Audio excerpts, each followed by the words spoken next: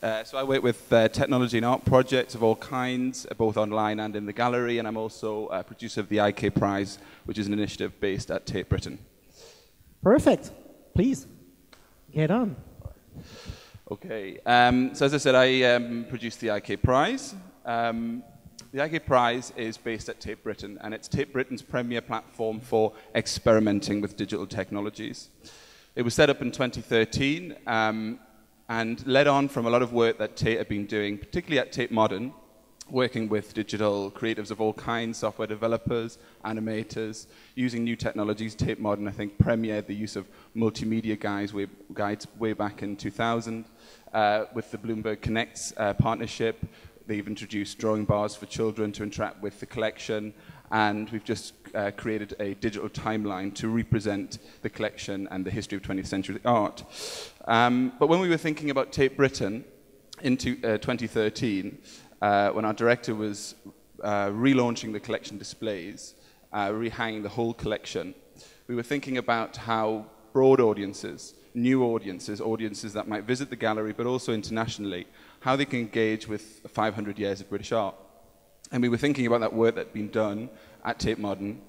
Um, and we came up with the idea of the IK Prize, which essentially uh, is a commissioning process, but it's about finding those ideas that exist outside of the museum sector. People who aren't museum professionals or perhaps don't have much knowledge about art history, but are working really innovatively with new technologies, telling stories and engaging, engaging audiences. So instead of going to people with a predefined brief, we thought we'd kind of open it up and say, what are your ideas?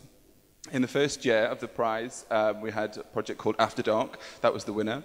Um, and a small production uh, studio from uh, Shoreditch in London, they developed uh, a project, a live event project, where they put robots in our galleries.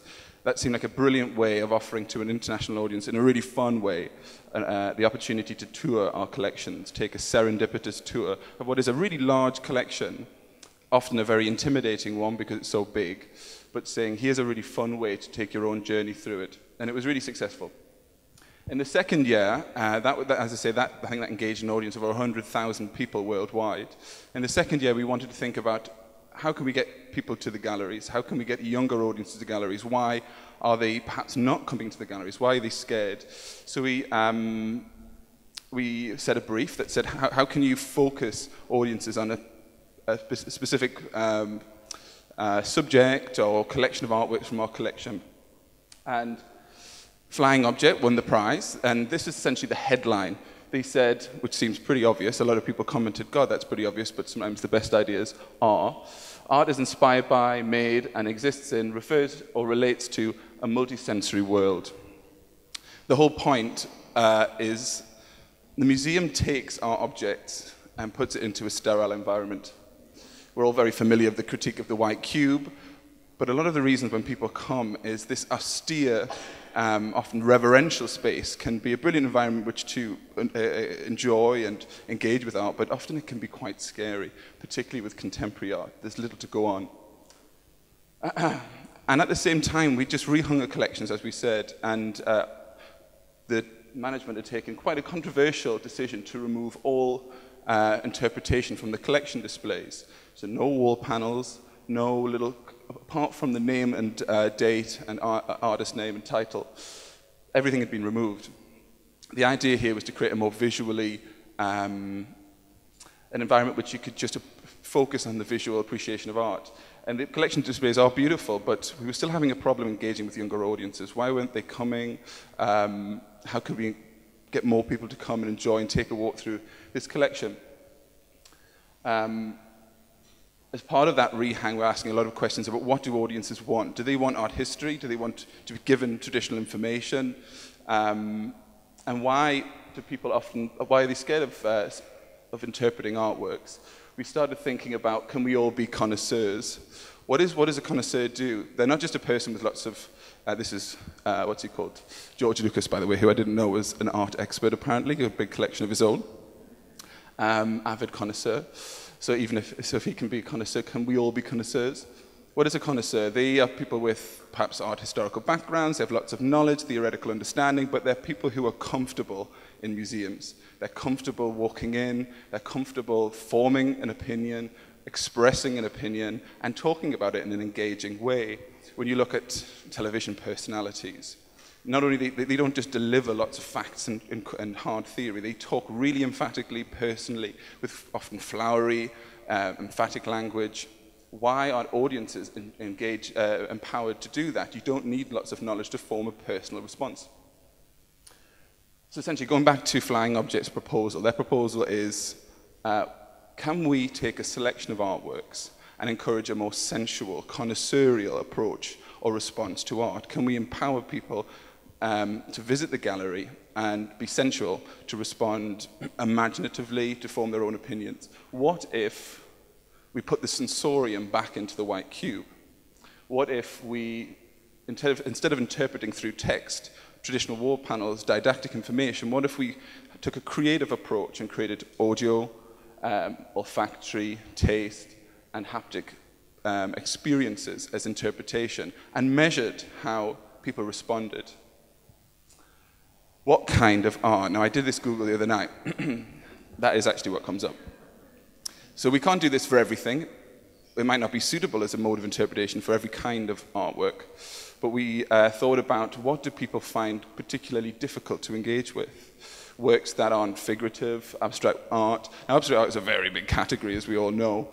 Um, but we thought abstract art is something that does uh, is, is, so broad and does kind of demand a sort of a level of personal response. Um, so going back to their proposal. We thought that this idea of thinking about art that is made in a world that is multisensory, that might be a brilliant approach for a general audience to take. So we got a team together. Flying Object got a, uh, a brilliant team. We worked with this chap, Nick Ryan, who is a sound designer. He's also a synesthete himself and does a lot of work with multisensory experiences. Odette Toilette, which isn't her real name, is a um, smell and fragrance expert. This is uh, Paul A. Young, who's probably Britain's most famous or most uh, successful chocolatier, who's also a food inventor. Um, we collaborated with a, uh, an Italian company called Empatica, who were experimenting with um, biometric wristband technology um, for all, all, all, different reasons. And the University of Sussex and a startup called Ultra Haptics, who were developing uh, a tactile stimulus technology using ultrasound to um, develop ways of stimulating the sensory touch, uh, haptic uh, sensation uh, in midair. So we thought, okay, let's, let's really experiment. Um, and let's pick some works that engage with or, or in some way abstract. So we decided to take users on a journey through four artworks, not in any chronological order, from perhaps touching on very, very abstract works, right from works that are perhaps semi-abstract or semi-figurative. So I thought I'd take you on a walk through what Tate Sensorium was like. After you came in, you, this is the first work you were um, encountered with. As you'll notice, it isn't a white cube. It's a black cube, I suppose. Um, we decided that although we were putting lots of additional um, interpretation our experiences in there, um, we wanted all of those to focus you back on the visual. And we also, as part of our research, noticed that in a huge white cube gallery that's filled with abstract works of art, one of the hardest things to do is to focus on one single artwork. There's so much distraction we thought this, this is about focusing people. So we created a, a very dark environment, a spotlit environment. And in this, in this experience with um, uh, Richard Hamilton's Interior Number Two, we created a um, audio olfactory experience, playing with some of the themes or some of the things touched on in the artwork. So as you went in, you were given a quote by the artist talking about what inspired him. It was a, film from the 1940s. Um, and we picked out smells in the painting. We picked out smells of the interior. We picked out smells of hairspray from the 1940s. Um, the research that we did with uh, Odette around smell was she focused on memory. What is smell? Smell is the, the, the sense most associated with memory. And we wondered with this painting, could you uh, inspiring people a personal response. And we had so many people come through when we were testing it, one of whom was a BBC journalist who came in and the smell, he kept going on the smell of uh, pledge, floor polish reminded him of his school in the 60s, going in on a Monday when they just polished the floor. Um, we also created an audio experience where we played both with uh, the subject matter of the painting, a woman in an apartment. We created sounds of an apartment of someone walking around on the floor. But we also create, played with the actual form of the artwork. So we played with sounds of cutting, um, tearing, these kinds of things, and played, at, uh, played on that friction between abstraction and figuration. Um, so as you moved around the space, you got different elements of the artwork. Move forward, you got more figurative. Move backwards, you got more abstract and formal. Then you moved into the second room. This was a work that we really wanted to play with because it seemed to me to embody what people have trouble with abstraction. Sometimes incredible simplicity, but with supposed profundity.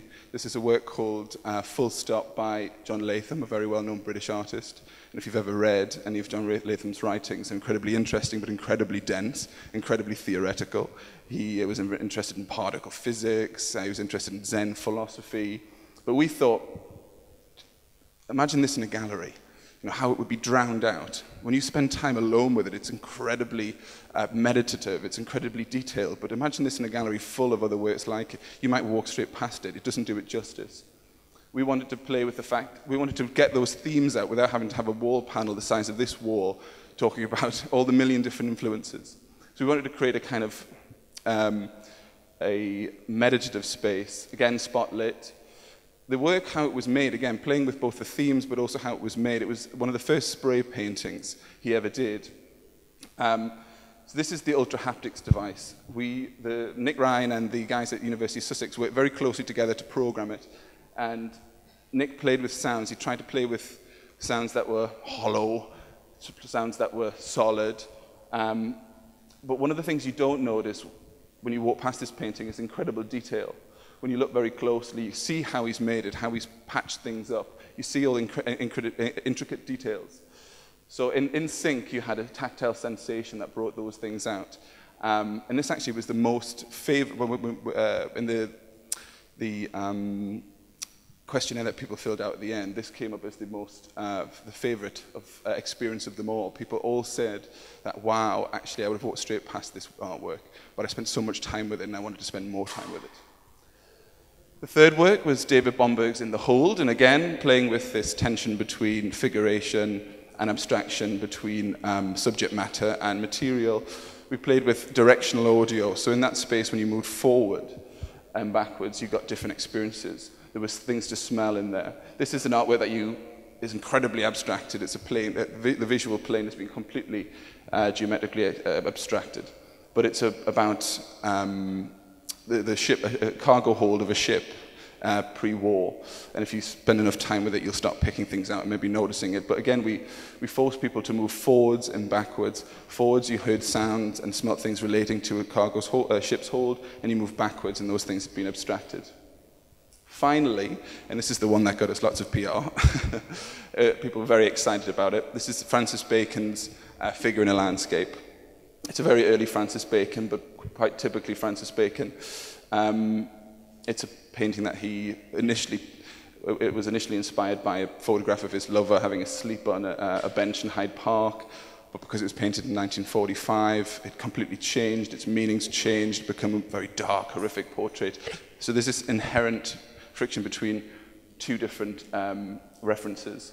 So we wanted to play with that as well.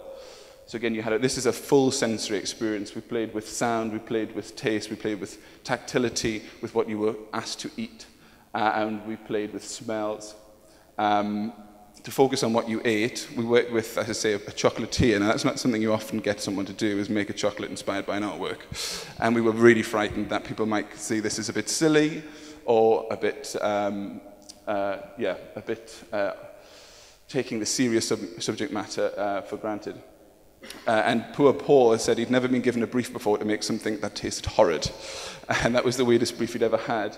But everyone, when you, when you looked at the responses on Twitter, when you looked at people coming out, all said, oh my God, it was weird, it was awful, but it was brilliant. We, we wanted to bring out, you can't see from this reproduction, but when you spend some time with it, this is a very grey artwork. But if you spend some time with it, you notice colours, you notice yellows, you notice oranges. So again, Bacon was trying to play, you could say, with that tension between pretty, wonderful landscape and this other horrible history, the 1940s uh, context of the time.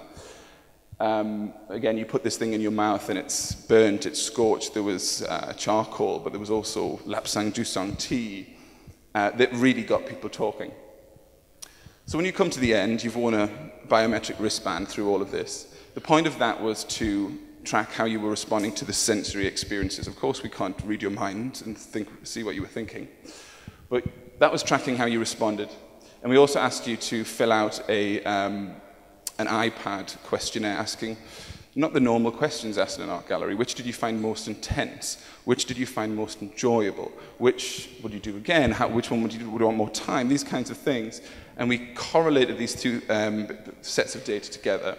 And first of all, shown you, give you a graph of how you responded over time. So this goes from the first experience, like a clock, right through. Uh, and everyone's was very, very different. We worked out whether you were a olfactory, um, excited person or a uh, um, haptic excited person. We also told people what the experiences were that they'd had. And using that data, we give them a bespoke map of the rest of the gallery, saying, here's some works that we've chosen that we think could be interpreted or could imaginatively be thought about in, in relation to smell or to, to touch. So know if you know Tony Cragg, there's a huge Tony Cragg sculpture on it. Go and think about that in terms of touch. Don't touch it, but think about it in terms of touch. And push, essentially push them out into the rest of the gallery. You've had this very unusual, kind of weird experience with four artworks where you've actually spent about three minutes with each art artwork, whereas the average dwell time in front of an artwork, I think in most galleries, is about 20 seconds. And we pushed them back out into the gallery. And what was brilliant to notice was how people had went from, in that previous slide with the wall captions, on their own, standing, looking, maybe looking a bit frightened, maybe trying to read something they don't understand, to with their friend that they came along with, because you could only go through in, in groups of four. Uh, chatting, chat, chat, chat, chat, chat, chat. They wanting to talk to each other. Oh my God, what did you think of that? Disagreeing, agreeing, uh, taking their map, going around the rest of Tate Britain, talking about art. Um, a bit like this guy, and I thought I'd include him. This is Simon Schama, another connoisseur, stood in front of the potato eaters. That was just for Axel, because he's on next. Um, but love him or hate him, he's a brilliant TV personality, and he doesn't have, just have lots and lots of knowledge. He feels empowered to talk emphatically about what he loves. You'll often, when you, if, you've, if you've seen The Power of Art, when he's talking about the potato eaters, the language he uses, that you can't teach that. That's not empirical truth. But he's talking about it being cloddy, he's talking about it being muddy, the way he's painted it. That's a sensual appreciation of art. That's not intellectual, but that's a really important start for you to reach the intellectual. We often start with saying audiences need to learn or be given factual information, theoretical interpretation, and that should lead them to a kind of personal, um, sensual appreciation of art. That's the wrong way round. You need to start with the sensual, and hopefully, if the museum and the artist and everyone else has done a good job, you should end up thinking, experiencing more intellectual things, or relating that to information you know. So, coming back to this, um, next time you're in a gallery or walking around here uh, later on today, I invite you to think what does it make me feel and what does that make me think?